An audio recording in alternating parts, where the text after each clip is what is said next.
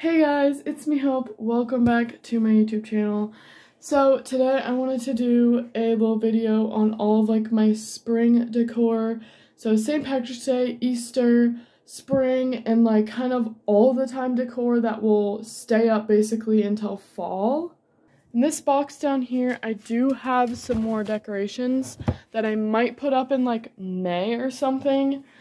But for the time being, this is a, this is what's going to be up.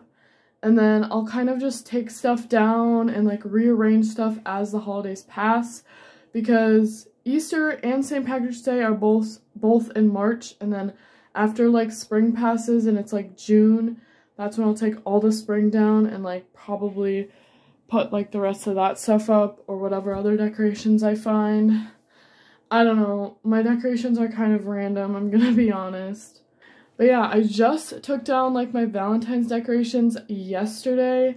And then I just finished putting all of like my spring stuff up. So yeah, like I said, oh my gosh, my dog just knocked over my whole tower of blankets. Lovely, I just put those away today. So things might change like where they are and obviously these things aren't going to be up past their holiday or too far past their holiday. So things are going to move around, but I'm just going to show you guys what I have. Which I actually have zero outdoor, like, spring, St. Patrick's Day, Easter decorations. I don't know why. I just, I just don't have any. And I'm probably not buying any more. Oh my goodness. If I do buy some more decorations, which, like I said, I'm probably not going to, I'll probably show you guys, like, an updated video, but probably not gonna happen because we need to be saving money because we're broke. But I'm in my upstairs bathroom right now, so I guess we're just going to start here. I'm going to go as quick as I can because I'm not editing this. So by the sink here, we just have these wooden painted figures. I have an egg and a bunny. And then over here, I have this sign that says Live Simply, oh, Bloom Wildly. Hey, babe, I need to stop. And then I also have this little, like, painted bunny sign, which this can also hang on the wall, but I couldn't find a spot to hang it. Moving on. So in the living room here, oh, there's Gordo. Stop. in the living room here, I put, oh my goodness. But I have some lights here. They were up there for the longest time, but I moved them over here. I have a sign that says, You're my sunshine, home sweet home. You're my sunshine and my gift family is everything. I have an angel, a Mary, and then 100% Irish, which is 100% not true. And then I actually took down one of my blanket ladders, and now I just have one with like some neutral kind of blankets up here. There's my squishmallow net. We moved this upstairs, so this is Goro's area. We have a little leprechaun hat and a welcome sign with a metal flower. There's another blanket that I like. So over here is kind of our like junk computer kind of area. This is where I do my school. Here's my computer. But I have this shelf here. And on the shelf, this, so this stuff will probably be up most of the time. So these are all like gifts from Valentine's Day, but my dogs will literally eat them if they're anywhere near the ground or in a box or anything. They find them, they eat them. Well, mainly narco. So we're just gonna keep them up there for a while. And then these, here are kind of like all the time decorations. Then I just have some little Easter plushes, a gnome, a happy Easter sign, and then a wooden bunny, and a wooden chick. That's over here, and then I have this little garland thing. This sign I've had for a hot minute. You can pause and read if you want, but I just put it up because I felt like it fit with like the spring summer vibe a little sunshine, which I've had this for so, so long. A little Easter garland here. And then I have this little sign that says kitchen, heart of the home.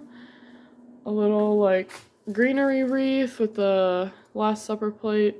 Like I said, things might move. That might move to my front door during the summer.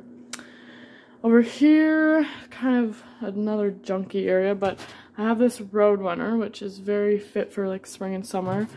And then this, those are both from Ben's grandpa who recently passed. And this is actually from the Renaissance Festival and makes a little bird calling noise, so it's pretty cool. But it's definitely fit for like spring. So I think that's all for upstairs. Um, we actually moved this shelf, this shoe shelf out because we figured out we were using it wrong and it just wasn't working in the closet. So, but coming downstairs, I have Easter garlands on both sides going down. And then I have this little rug here that says General Store, which is a cute little spring mat. And then I have this fresh flowers with this garland. We still have to put our doors up. Oops. And then hopefully my dogs don't freak out, but I have this on my door. It says Lucky. That'll obviously switch out when it's not St. Patrick's Day. Narco, come on. What are you doing? He probably wants to go out. This is kind of on here weird because I lost some nails in the wall that little thing. And then we have a St. Patrick's Day garland going down the stairs. There's no decorations in the rooms. Um, I have this Easter greeting sign, a little shamrock, sparkly. And then here I have a garland, St. Patrick's Day. And then I have some signs. So blossom with the metal flower. This is like the same as the welcome one. This says hippity hop, a little bunny. And then this I actually got from my friend this year. It's really cute. Beaded handle with an egg. It says Happy Easter. And then these lights actually turn on, but they probably won't be on very often. But yeah, that's pretty much everything. It's not that much, but I feel like it's not super, super important for these holidays. I don't know. I might buy some more Easter because I feel like Easter is kind of an important holiday. But I also have these picks that are like for plants, I think, or like decoration. But I might try to stick them in the ground. I don't know how it'll go because they're not like pointed or anything. We might try that. I don't know. Maybe not because literally, it's like literally like two and a half weeks until, or like maybe three weeks until St. Patrick's Day. So it feels kind of pointless and it's going to snow more. So there's kind of no point to it, so that's probably not happening. But those are all of my spring and all that decorations. Don't really want to say all that again. But I hope you enjoyed watching this video. If you did, give it a thumbs up, subscribe down below to see more from me. I'm hoping to film and upload a little update video tonight um, for you guys. So you might see that coming in the same day.